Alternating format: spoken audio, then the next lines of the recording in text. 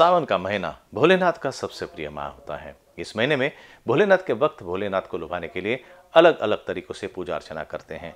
मध्य प्रदेश के सिवनी में बाबा भोलेनाथ का एक ऐसा भक्त है, जिसके द्वारा बनाई गई भोलेनाथ की कलाकृति ने भोलेनाथ के भक्तों को अपनी ओर आकर्षित किया है।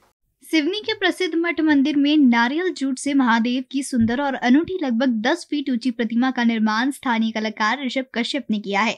सिवनी में रहने वाले ऋषभ कश्यप द्वारा बीते वर्ष पेड़ की जड़ों से भगवान भोलेनाथ की कलाकृति बनाई थी। इसी तरह इस वर्ष भी महादेव की एक आकृति नारियल के जूट से तैयार की गई है, जो की श्रद्धालुओं को आकर्षित कर रही है। कलाकार ऋषभ कश्यप हर साल सावन माह में महादेव की अलग अलग प्रकार की नई नई आकृति बनाते रहते हैं और अलग अलग तरह से हर बार अलग अलग चीज़ों से भोलेनाथ की छवि के रूप में दिया जाता है।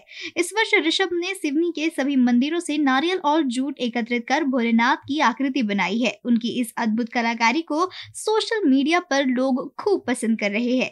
सोशल मीडिया पर लोग इस कलाकृति को देखने के बाद सामने से देखने के लिए ज़्यादा उत्सुक दिखाई दे रहे हैं। सिर्फ़ सिवनी ही नहीं, बल्कि पड़ोसी जिलों से भी लोग ऋषभ कश्यप की इस कलाकृति को देखने के लिए सिवनी मठ मंदिर पहुँच रहे हैं।